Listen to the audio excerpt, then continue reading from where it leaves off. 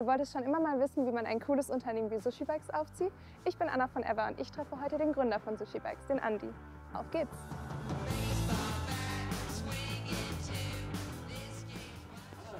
Hallo, freut mich, Anna, dich wieder schön, dass du wieder da bist. Ich habe auch schon einige Lieblingsspots gefunden und die zeige ich euch jetzt. Hier direkt beim Eingang ist bereits mein erster Lieblingsspot, das Fahrrad. Ja, wir hängen jedes Bike auf, von der ersten bis dritten Generation. Das ist jetzt zweite Generation. Und bei jeder Firmenfeier werden Polaroid-Fotos gemacht. Und dann kommst du hier aufs Teamrad. Cool, da will ich auch hin.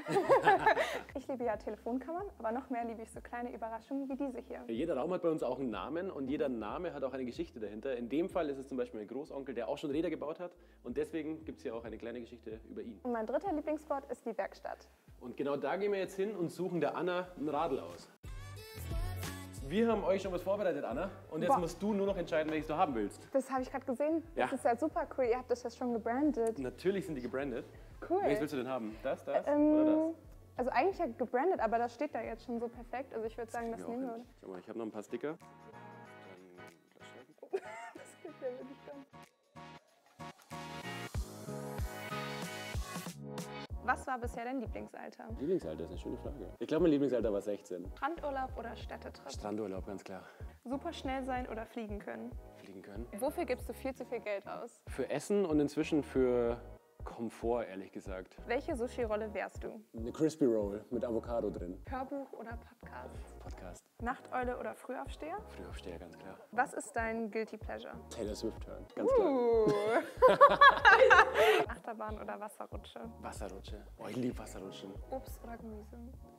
Obst auf jeden Fall. Apfelschnitzen mit Mandelmus. Was ist gerade dein Lieblingssong? Mm, Ich glaube, der neue Post Malone-Song, der rauskommt, mit seinem Country-Style, der ist noch nicht ganz draußen, aber auf TikTok gibt es schon so Snippets. Das wird Bombe. Sushi oder Pizza? Da darf ich nichts Falsches sagen, ne? Pizza.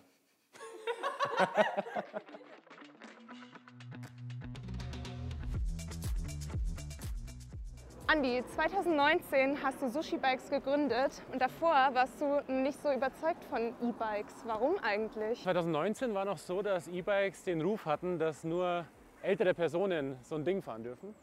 Und sie waren auch wahnsinnig teuer. Und ich habe dann aber mal eins ausprobiert. Das sah auch nicht toll aus. Aber ich fand es einfach cool, wie es anschiebt und habe mir gedacht, das kann wirklich nochmal Mobilität verändern. Dieser kleine Powerschub. Du hast auch gedacht, ey, immer, sagst immer hoch, wenn du es anmachst. Und genau dieser Moment, glaube ich, ist ganz schön wertvoll. Was hat dich denn letztendlich dazu gebracht, Sushi Bikes zu gründen? Ja, am Ende war es eben so, dass E-Bikes ähm, teuer waren. Ich wollte sie günstig machen und schöner machen. Und dann habe ich angefangen, mir einfach mal ein Bike zu kaufen und günstige Elektrokomponenten.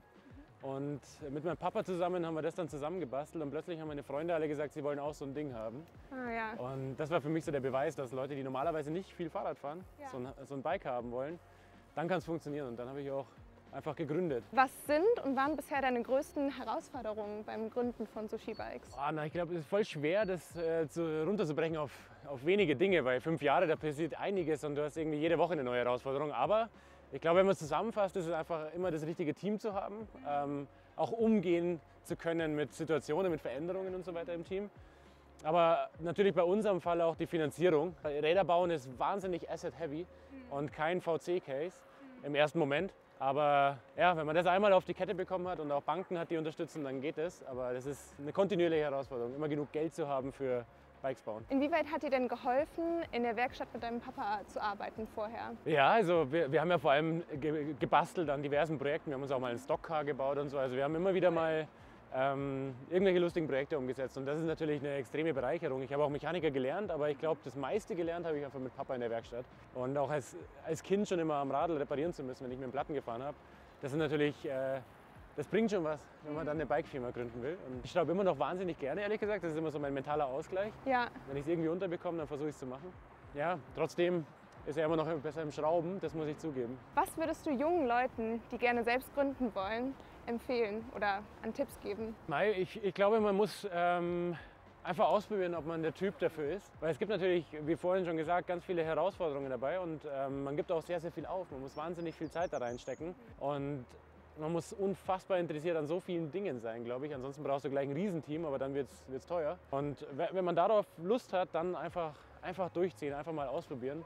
Ich glaube, die meisten Gründerinnen und Gründer blockieren sich selbst so ein bisschen. Da, da sind so viele Zweifel, so viele potenzielle Fehlschläge irgendwie im Kopf. Aber man weiß es ja nicht, bis es passiert. Und was ist das Schlimmste, was passieren kann? Dann klappt es nicht. Dann, ja. dann hat man es zumindest probiert. Aber man ist schon mal einen Schritt weiter als diejenigen, die nur überlegen. Ich glaube auch, dass man halt irgendwie immer Angst hat vor diesem Schamgefühl, was ist, wenn es nicht funktioniert. Aber eigentlich ist es ja schade, wenn man es überhaupt gar nicht ausprobiert. Genau, ja. Ich glaube, da muss Deutschland und die ganze Gesellschaft natürlich auch ein bisschen was lernen, dass Scheitern gar nicht so schlimm ist. Ähm, trotzdem, ich habe natürlich auch unfassbare Angst noch davor. Also das wäre für mich das, das Schlimmste, was passieren könnte, dass diese Firma irgendwie nicht mehr, nicht mehr weitergeben würde. Aber daran versuche ich gar nicht so viel zu denken, weil diese Angst, die, die treibt dann nur zu sehr um. Aber klar, ich glaube, dass schon viel Blaming stattfinden würde und auch Medien sich darauf stürzen und das ist definitiv nicht okay. Wenn das nicht so wäre, dann hätten, glaube ich, alle ein bisschen weniger Sorge zu gründen. Total.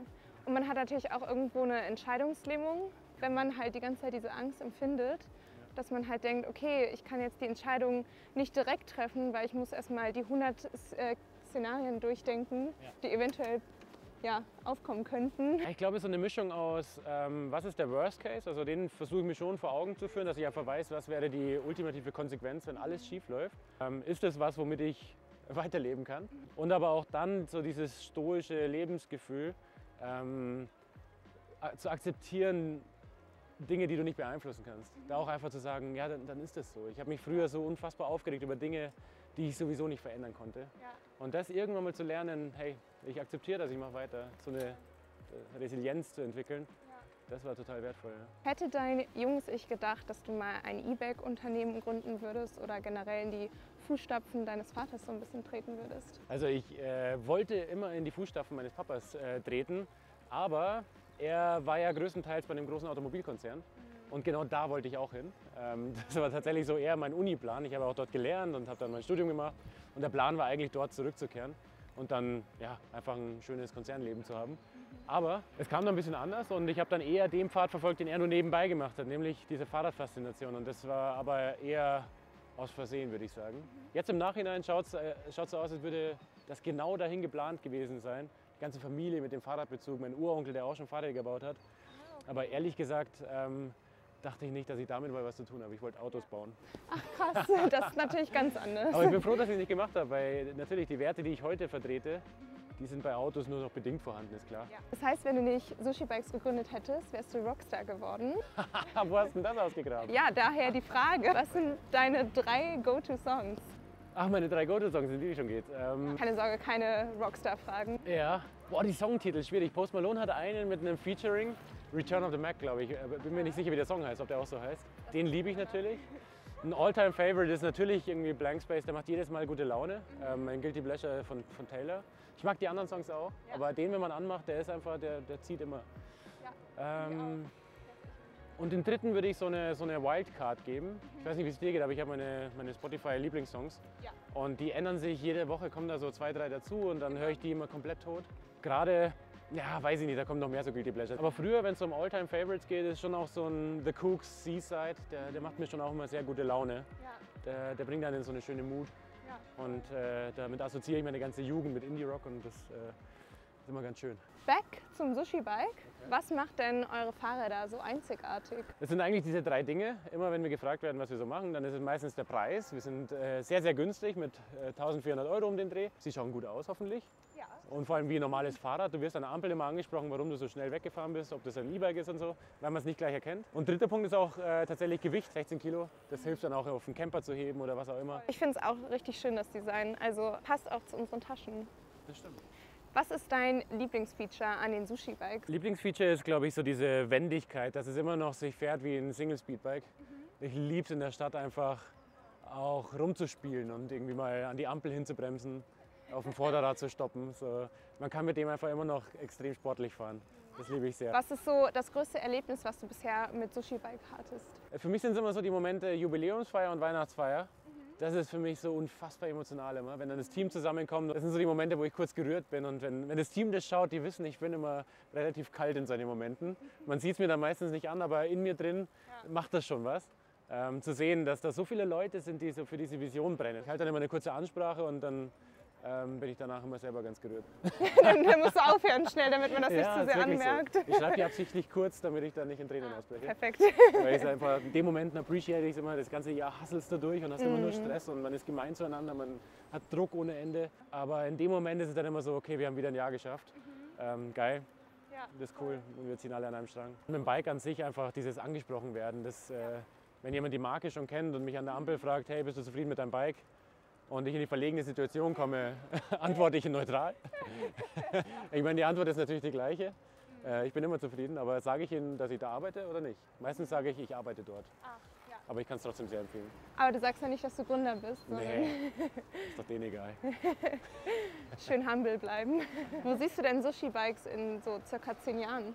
In zehn Jahren soll Sushi Bikes auf jeden Fall eine Marke sein, wo jeder das Fahrrad findet, das für ihn passt in der Stadt und im Umland. Ähm, das heißt wahrscheinlich mehr, mehr Modelle auch irgendwann. Und einfach eine Marke, die ihren Werten treu geblieben ist.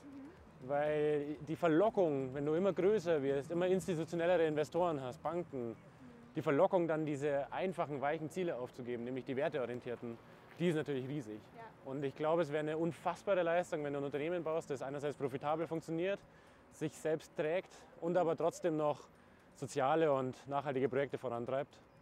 Auch im übertriebenen Ausmaß, nicht nur im Presseausmaß, sondern wirklich intrinsisch. Das, das würde ich mir sehr wünschen. So, jetzt als allerletzte Frage.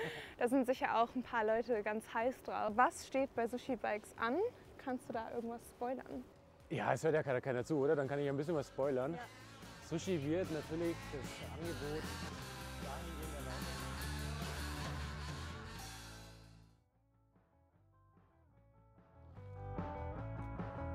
So Anna, jetzt hast du ja nach dem Tag auch ein Bild verdient. Das kann man jetzt ja mal Uh. hinklipsen. Ja, sieht ganz cute aus. Schön verdeckt.